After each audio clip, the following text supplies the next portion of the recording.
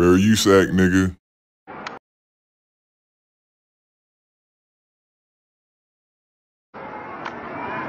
And get your way for Randall.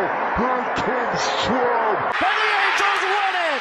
Saying goodnight to the White Sox on a wild.